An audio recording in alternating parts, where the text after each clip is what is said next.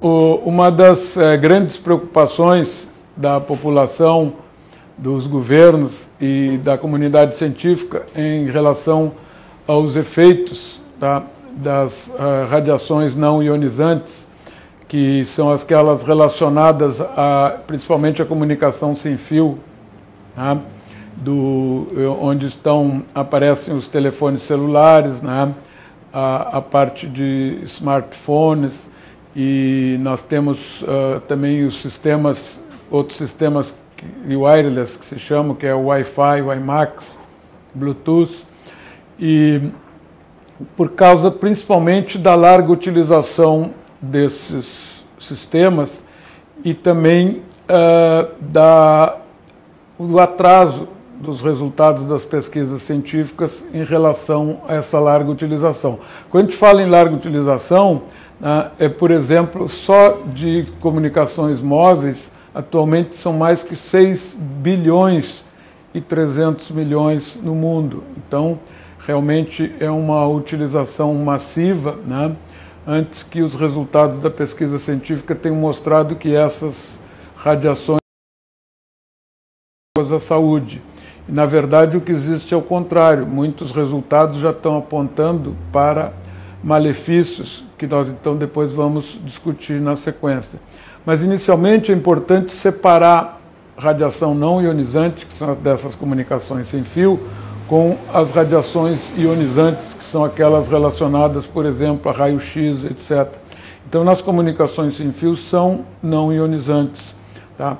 As radiações ionizantes elas normalmente é, arrancam por, é, íons, tá? por exemplo, elétrons da, da, das, das células, das moléculas, deixando atrás de si, então, um íon, né? uma molécula ionizada, daí o nome de radiação ionizante.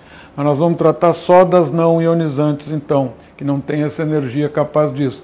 Mas o fato dela ser não ionizante não quer dizer que não causam uma série de danos como nós vamos então discutir na sequência. A outra questão muito importante para separar no início são os efeitos de curta exposição e os efeitos de longo prazo de exposição. Os efeitos de curta exposição são normalmente referidos como os efeitos térmicos tá? e causam aquecimento direto tá? dos tecidos que absorvem essa energia. Né? Esses efeitos são aqueles que estão previstos e contemplados nas normas internacionais mais difundidas. Né? Só esses efeitos térmicos.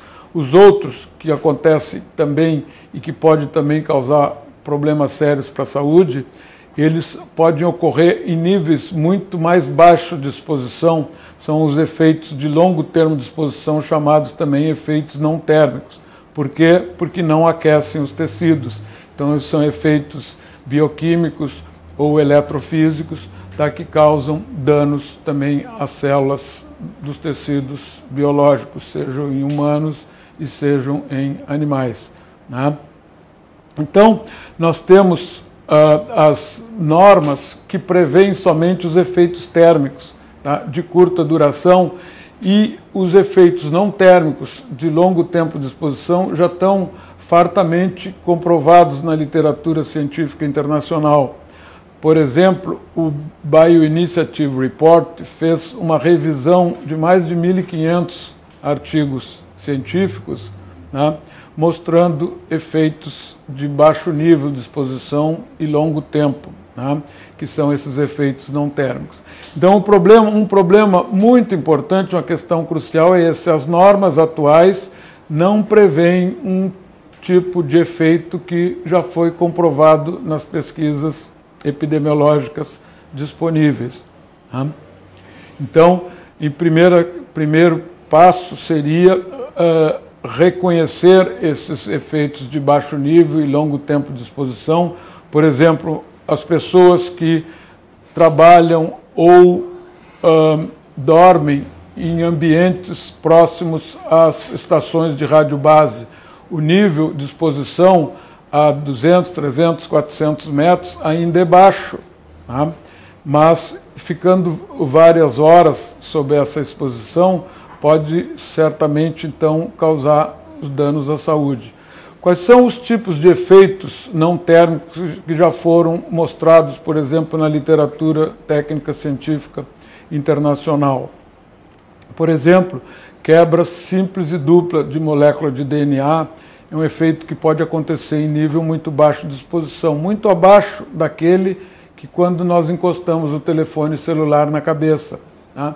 E a área médica sabe que quebra dupla de molécula de DNA pode ser uma razão para um, um processo de tumor, tá? um tumor inclusive maligno, ou seja, câncer.